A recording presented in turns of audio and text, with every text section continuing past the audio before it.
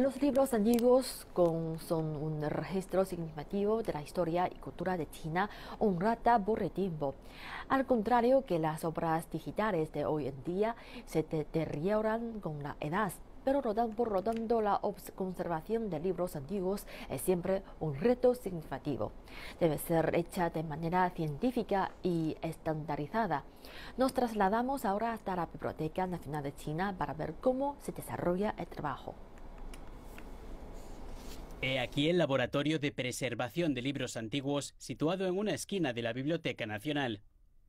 Los técnicos están ocupados con una tarea, reparar libros antiguos. Con la ayuda de pinceles, martillos y microscopios, parecen más bien cirujanos que operan a sus pacientes. Hay muchos huecos y agujeros en estos libros. Para repararlos, primero necesitamos unir las roturas y entonces reparar los daños causados por gusanos. El equipo de 19 miembros dedica su esfuerzo a preservar Tianlu Lang, la obra de más de 40 volúmenes de la dinastía Qing recopilada durante el reinado del emperador Qianlong. Antes, ya repararon otra literatura histórica que incluye la enciclopedia de Yongle y los manuscritos de Dong Huang.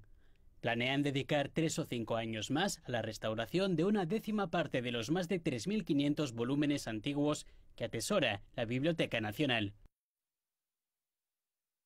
Muchos de ellos han quedado destrozados en pequeñas piezas. Debemos invitar a expertos para que nos ofrezcan una dirección. Así podremos saber qué piezas están en la misma página y en qué secuencia deberían ponerse. Entonces podremos combinarlas en un único volumen. La conservación de libros antiguos es un campo interdisciplinario de estudio relacionado con la química, la biología, la fabricación de papel y la historia. Además de las herramientas tradicionales heredadas de los predecesores, el personal profesional también está equipado con instalaciones científicas avanzadas. Para rescatar las reliquias culturales del país, sus movimientos deben ser delicados y pequeños, pero su misión es grande y exigente. CGTN en español.